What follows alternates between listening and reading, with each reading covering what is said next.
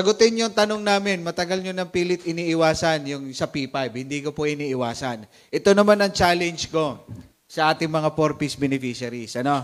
Sagutin ko yung tanong nyo lahat sa 4-piece kung 500 ang manunood ngayon. Tawagin nyo lahat ng taga 4-piece na pwedeng tawagin. Yung may problema. Tawagin, magmanood dito ngayon. 500. Sagutin ko lahat. Pag hindi naka 500, paano?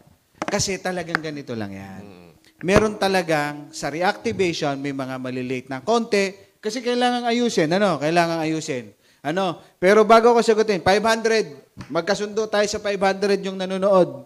Sagutin. Pero sige, si Boyet muna. Okay. Kasi na- nauna si Boyet, Ma'am Tres Marias, ha?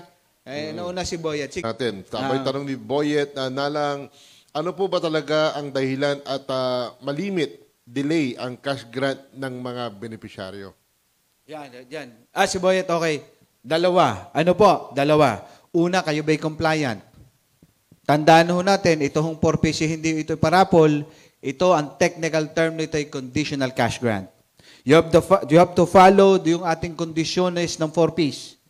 Napapapasok nyo ba ng ayos yung mga bata? Baka naman yung mga bata nyo ay nasa sugalan, nasa tungitan, napapapasok nyo ba? 85%. Ano po? Napapacheck up ba yung mga bata? Nakakapag deworming pa yan? Nakaka-attend ba kayo sa mga family development seminar? Ano po? Yan po yung maaaring isang dahilan. Ano? Non-compliant po kayo. Pangalawa, kagaya po nito, may reassessment at revalidation. Tandaan po natin, 1.2 million, 1.4 yata, 1.1 million mahigit ang dapat po'y tanggal. Baka kasama po kayo dyan. Pinaglaban po ng pamunaan ng DSWD, kayo po'y manatili. 791 pong mananatili sa projection, maaari pang umabot ng 800 plus. Kasi may mga humihingi ng reassessment. Pinagbibigyan po namin yung aming po mga four-piece coordinator na inaaway-away, pagod na rin, pero sabi namin, tuloy lang ang laban. Kailangan natin pagserbyuhin. Siya na yung ating mga beneficiaries.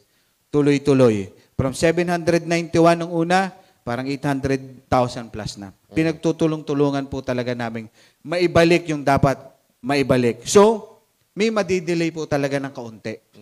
Kasi may reactivation nga po tayo eh. Hindi naman natin iniiwasan eh. Kasi kung tayo ba nagtatanong, kagaya ng tanong ni Tolitz Galieto from Quezon City, paano ho ba malalaman ng status ng 4-piece beneficiaries kung active pa or tinanggal na? Wa 111 pa to ha?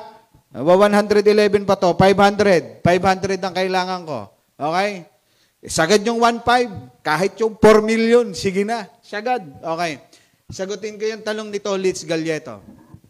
Kaya tayo nagkakaproblema din minsan. Baka yung iba dito kasi nagagalit, wala pa akong payout, wala pa akong payout, mga people's initiative kayo. ba? Wala pang payout. Pero baka hindi na po kayo talaga active. Baka tinanggal na po kayo. So ang tanong nito, leads, paano malalaman? Itatanong po natin sa ating mga municipal link, tanong po natin sa ating mga city link, kung kayo po ba ay retain pa. Kung kayo retain pa, yun po. Maaari po tayo mag-follow up. Pag tayo po yung nag-follow up, ano po, maaari pong it's either nga tayo kasama sa nire-reactivate ngayon, ano po, o kasama na tayo sa tumatanggap ngayon. Kasi kanina, natabunan lang yung isa. Sino ba yung isa na nagte-thank you naman? Kasi nakabalik siya. Hindi, ang, ang ano lang kasi, ito, ito may, may singit ko rin lang. ah. Marami kasi, oh, may mga reklamo tayong ah, nababasa sa, sa li- Facebook Live natin. Pero kung titignan mo, yung sa dami ng uh, four-piece na, na walang reklamo, malamang iyon yung talagang mga sumusunod sa mga requirements, Hindi kaya hindi nagkakaroon ng problema. Oo, oh, naintindihan naman natin yon. Pero talagang kailangan nilang matandaan na yes, may mga reactivation, may mga revalidation, may mga inclusion. Ano po? At siyempre, sa atin, talagang gagawin natin yun. Hindi naman talaga lahat mapagsabay-sabay. Hindi naman talaga lahat ma mati, makuha natin, mabanata natin, ano, ma- ma- magbigyan natin. Kasi, tandaan natin, ang plano natin yung educational assistance dasunes.